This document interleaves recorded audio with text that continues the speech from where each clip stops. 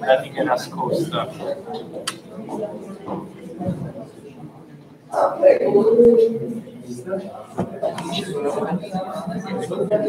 Ah, ma come ti è sembrato l'organizzazione?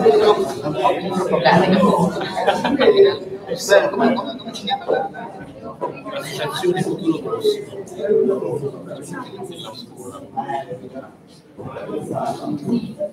Credo che adesso gli altri si saranno delusi, non siamo più abituati.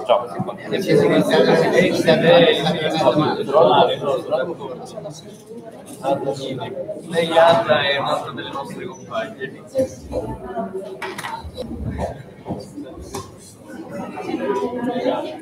Non lo so, ma non era solo per era solo per il. Va bene. Vabbè, allora comincio. Prova. Eh, non lo so, ho chiamato ma non mi ha fatto venire. Buonasera a tutti. Eh, non lo so, se volete venire più avanti, perché ci sono posti, cominciamo.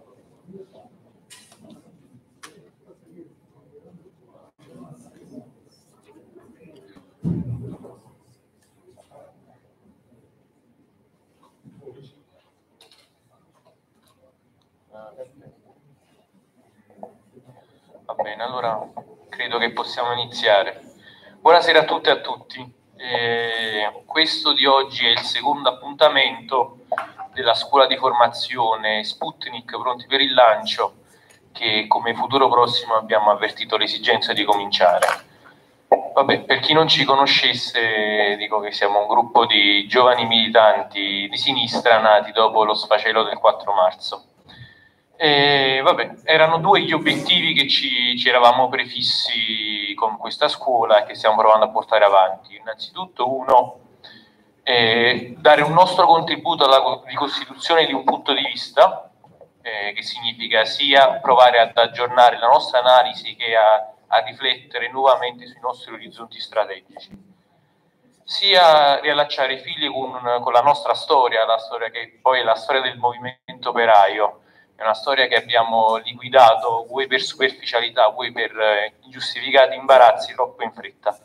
E crediamo che questo sia un obiettivo particolarmente importante se vogliamo comprendere pienamente le cause dell'afasia e dell'inerzia a cui sembra che per il momento siamo condannati. E poi, vabbè, pensare storicamente anche una capacità fondamentale per eh, delle menti che vogliano liberarsi da una politica che è fin troppo attaccata a un'azione eh, di cortissimo respiro. Comunque, nell'ottica del, del, primo, del, primo, obiettivo, cioè quello della riflessione sul presente, un paio di settimane fa abbiamo organizzato un incontro con il presidente del comitato scientifico dell'Istituto di Studi Comunisti, Mark, Karl Marx e Friedrich Engels, Mario Calabria, per discutere della rivoluzione tecnologico-scientifica dell'ultimo quindicennio. Eh, invece l'incontro di oggi eh, rientra proprio nella, nella, nella, riflessione che stiamo cercando di condurre, seppur nella maniera sistematica e limitata in cui c'è possibile farlo, sulla riflessione appunto sulla nostra storia. Oggi parleremo eh, delle politiche urbanistiche nelle cosiddette giunte rosse di Roma e Napoli, città che eh, nel decennio a cavallo tra gli anni 70 e gli anni 80 videro delle giunte di sinistra guidate dal Partito Comunista eh, sindaco di Napoli fu appunto, credo che non ci sia bisogno di, di dirlo, Maurizio Valenzi, mentre si avvicendarono a Roma eh, il grande storico dell'arte Giulio Carlo Arganna, eh, ma, Luigi Perdoselli e Ugo Vetere. Eh, oggi vabbè, eh, doveva venire anche tra i relatori, ci doveva essere anche Walter Tocci che si scusa, non può essere con noi perché c'è la commemorazione di Gianni Borgni, assessore alla cultura, di quando lui fu vice sindaco a Roma con Rutelli e quindi purtroppo è stato avvisato stamattina e ci tiene a scusarsi e dice che verrà a Napoli appena possibile, però ne discutiamo anche con Vezzo di Lucia, che è uno dei più grandi urbanisti italiani, eh, che è stato a lungo eh, funzionario e dirigente del Ministero dei Lavori Pubblici, credo che in questa veste no, Vezzo abbia collaborato con Maurizio Valenzi per la ricostruzione post-terremoto, correggimi se sbaglio.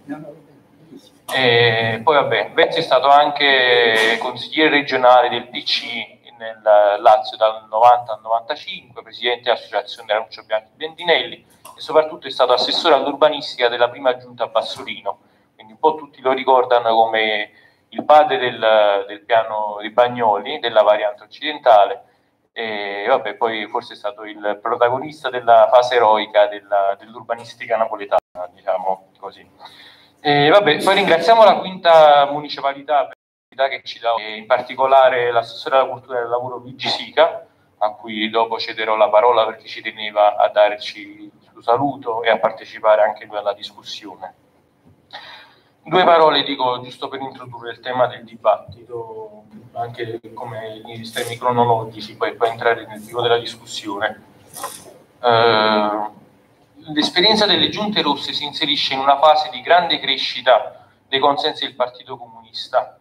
Alle elezioni del 15 e del 16 giugno del 75 il Partito Comunista alle elezioni amministrative si affermò come il primo partito in gran parte delle, dei maggiori capoluoghi di provincia italiani tra cui anche Napoli dove superò il 32% dei consensi e si insediò Maurizio Valenzi. Invece il 20 e il 21 giugno dell'anno successivo, il 76, a Roma, eh, con credo il 35,4% dei consensi, i comunisti si affermarono come prima forza e quindi ciò permise di far insediare Carlo, Giulio Carlo Argan come sindaco e questa fu un'invenzione di, eh, di, uno storico dell'arte, sindaco della capitale di Petroselli, il segretario della Federazione Romana.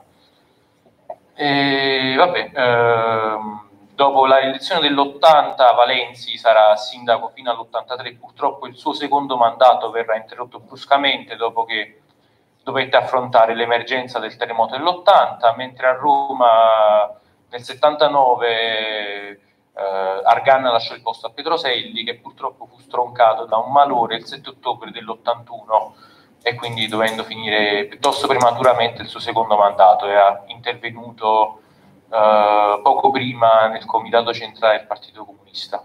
Fino all'85 poi amministrerà la città Ugo Vetere che era stato assessore al bilancio, eh, brillante come assessore al bilancio, di Pedro Selli forse di meno come sindaco di Roma. Eh, poi vabbè, dopo entrambe le città saranno condannate allo stesso destino, cioè ritornare al malgoverno della DC e degli alleati del pentapartito con le facili conseguenze che si possono immaginare in termini di gestione urbanistica. Le giunte rosse furono probabilmente l'esperienza più interessante dell'ultima fase del movimento operaio in Italia.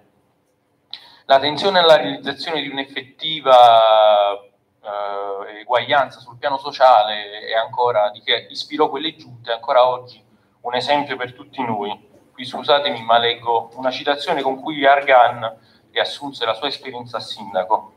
Quando sono stato sindaco mi sono interessato una volta, eh, eh, mi sono interessato alla scoperta di quella realtà pietosa che era la città povera, la miseria delle periferie e anche delle baraccopole appena fuori dalla città cui riferimento era chiaramente alle, alle borgate, agli agglomerati di baracche che erano nati in seguito ai sventramenti mussoliniani che purtroppo hanno sfigurato per sempre molte parti del centro di Roma ed è incredibile che ci sia qualcuno che ancora alle ultime elezioni rivendicava quanto Mussolini fosse stato un grande urbanista, ma questo forse è meglio di non, di, diciamo, sono personaggi e argomenti di cui è meglio non parlarne oggi. Uh, Argan prosegue e dice posso dire di essere riuscito uh, a eliminare tutte le baracche nel corso del mio mandato, si sono volute ospitare le persone in qualche modesto albergo, ma si sono eliminate le baracche. Per Napoli parlare delle giunte rosse di Valenza significa parlare del piano delle periferie e dell'esemplare di costruzione post-terremoto, per cui Antonio Cederna, che notoriamente fu un osservatore, un critico molto attento e severo,